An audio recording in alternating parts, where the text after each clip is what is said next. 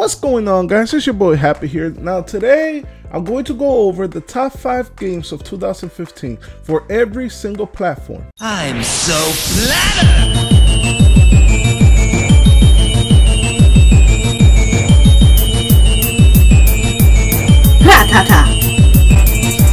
Okay guys, so I usually don't do videos like this because I tend to stay away from other platforms such as Nintendo, such as Nintendo.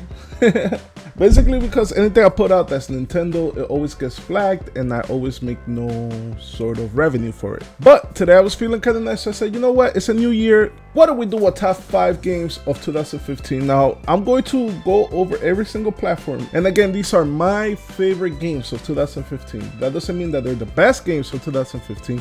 In fact, a lot of these are not the best games for 2015. So if you guys have your top best, uh, write them in the comment section below. I'm gonna get that right out of the way. So your top best, right in the comment section below. We're gonna start off with the Wii U. For the Wii U, I had to pick, shockingly enough, Mario Maker. Yes, Mario Maker. I had a ton of fun just playing this game over and over again, playing everybody's levels. And if you would have told me, hey, I'm gonna give you a game where you make levels of Mario and people play them, I would have told you you're crazy. That that can't possibly be any fun. But everybody's creative mind has made such an awesome game. But when you put so many beautiful minds together to make these really intricate levels and games and everything, it just makes for such an awesome game that I believe that this game deserved more than the praises it got. It was a really awesome game. Next up is the 3DS. For the 3DS, I'm, I'm gonna be honest with you guys. I mostly play a lot of Pokemon Omega Ruby and Alpha Sapphire. Again, that is a 2014 game, so I really can't say that that's the best game, but that is what I play the most. But if I have to give my top game of the year, it would have to go to The Legend of Zelda Majora's Mask 3D. Of course, The Legend of Zelda Majora's Mask 3D has to be like one of the best games out there. It brought back everything that I love about the Nintendo 64 Majora's Mask. It made it that much better because you also get like a journal where you can write things down and all of that. It was just overall a really awesome remaster of the original Zelda brought to a smaller unit, you could say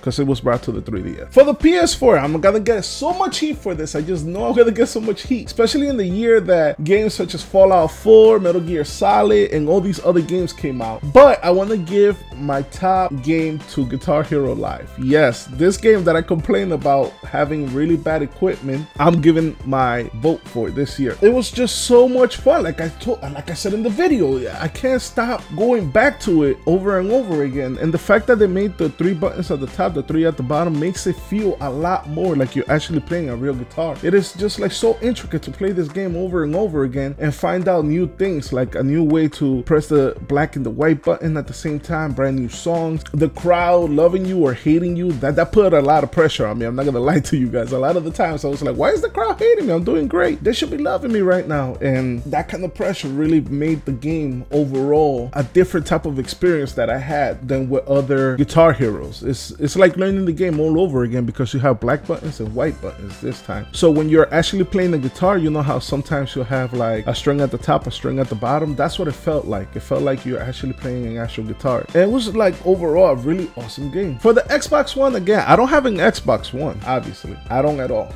But I happen to have gone to my friend's house and I played Halo 5 Guardian. It is a really amazing game. Man, again, this is I know it's a shock to a lot of you because I'm not into shooters at all. You know I hate shooters because I really suck. I have no aim and it, it, it's just a disaster. Every time I play shooters, I'm literally that guy walking in the middle of nowhere and getting sniped by everybody because I really suck at shooters. But Halo 5 Guardians was actually a really entertaining game. I'm talking about from beginning to end, the player versus player mode and all of that was just so much fun that it just kept me wanting to buy an Xbox One in all honesty because of this game. And I am not an Xbox fan at all. So Xbox, you did a great job of making Halo 5 Guardians. And the last, last, last, last, last, last, last, last, last, the very last platform I'm gonna talk about is the PC. And for this, out of all the Steam games that I bought, yes, I'm gonna base it off of Steam. I went with Rocket League. Now, I know you guys think, oh my god, there's so many better games out there than Rocket League. Dude, what are you talking about?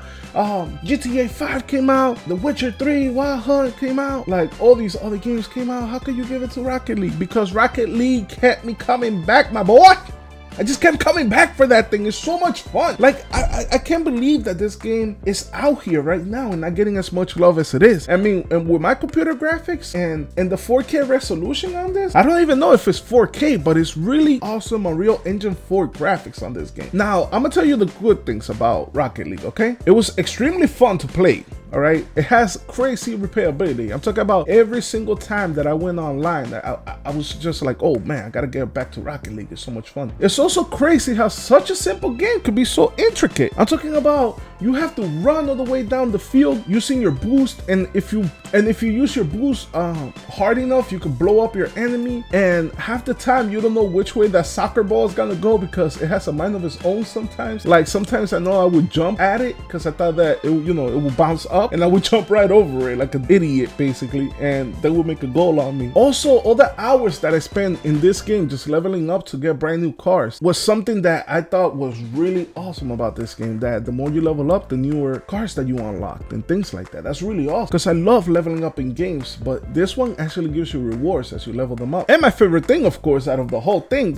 was destroying the opponent's car. Oh my god, you don't know how many times a dude would be like right after the soccer ball and I would just like do my boost and destroy him on the spot and he would just get so pissed. I could tell that he would get so pissed and that would bring so much joy to my life. I know it sounds a little bit sadistic, but that, that's just how much fun this game is. I really, really, really tell you guys, go out there and get Rocket League if you don't have it yet. It's only like 12 bucks right now on Steam. If you don't have it, by all means, really go out there and get it. It's a really awesome game. Okay, guys, so that's all I wanted to talk about for today. I want to know what your top five games for the year are. Write them in the comment section below. Since you stuck to the end of this video, we'll pick one of you at random in the comment section below and I will be giving you a Steam game away, okay? I'm not going to tell you exactly what that game is as of yet, but it's not a crappy game. It's an actually really good game, okay? So just in the comment section below, let me know what your top five games of the year were and you have a chance of winning yourself a Steam game. Again, I'm not gonna tell you which one it is, but I promise you, I promise you, I I'll give you a clue. It's a Square Enix game, okay? It's a Square Enix game. That's all I'm gonna say about it. So again, guys, thank you so much for sticking around. Remember to subscribe for your latest and most up-to-date information about Square Enix. Rattata. Have a nice day. I'm so flattered.